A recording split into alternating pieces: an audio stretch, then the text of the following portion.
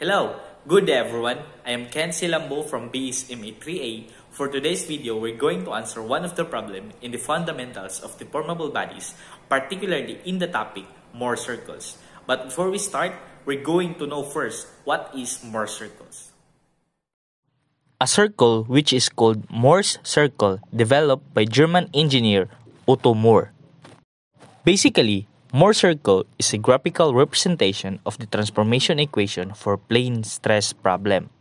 It is useful in visualizing the relationship between normal and shear stresses acting on a stress element at any desired orientation. And in Mohr circles, we can establish coordinate axes where our normal axis will be positive at right and then shear will be positive downward. And using Mohr circles, we can calculate principal stresses, maximum shear stresses, and stresses on inclined planes. So okay, let's move on to the problem. So as you can see, this is problem 7.38. We have to solve this using Mohr circles. So, for the given state of stress, we have to determine the normal and shearing stress after the element shown has been rotated through A, 25 degree clockwise, and then B, 10 degree counterclockwise.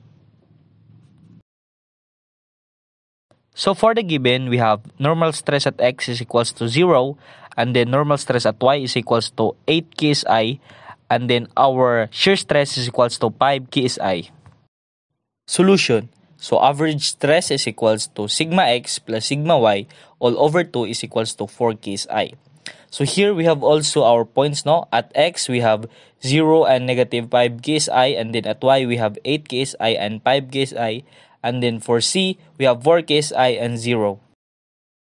And now, to get our 2 theta p, so we have this tangent 2 theta p is equals to fx all over fc. So that is equals to 5 over 4. So it's equals to 1.25. And then transpose, no? So, inverse tangent 1.25 is equals to 2 theta p is equals to 51.34 degree. And then so to get our r, so r is equals to the square root of fc squared plus fx squared. So equals to square root of 4 squared plus 5 squared and that is equals to 6.40 KSI. And now at A, we have given theta is equals to 25 degree clockwise. So therefore, our tau theta is equals to 50 degree. So phi is equals to 51.34 minus 50. So that is 1.34. So to get normal stress at x, we have sigma average minus r cos p. So substitute the given values. So therefore, our sigma x prime is equals to negative 2.40 ksi.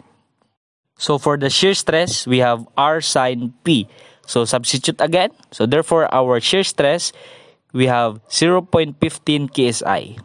And then for our normal stress at y, we have sigma average plus r cos p. So again, substitute now the given values. So therefore, our uh, sigma y prime is equals to 10.40 ksi. So if we're going to plot our A, the graph is look like this. And now for B, we have given theta is equals to 10 degree counterclockwise. So therefore, our 2 theta is equals to 20 degree. So phi is equals to 51.34 plus 20, so that is 71.34. And to get our normal stress at x, so we have sigma average minus r cos phi, and then substitute the given values. So we have 1.95 ksi. And for our shear stress, we have r sine phi. So again, substitute the values. So we have 6.07 ksi. And now for our normal stress at y, so we have sigma average plus r cos phi. So again, no, substitute the values. So therefore, we have 6.05 ksi. And if we're going to plot again our B, our graph is look like this.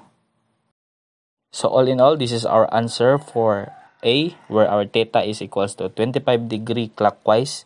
And then these are also our answer for B, where our theta is equals to 10 degree counterclockwise. So, that's all. I hope you learned. Thank you.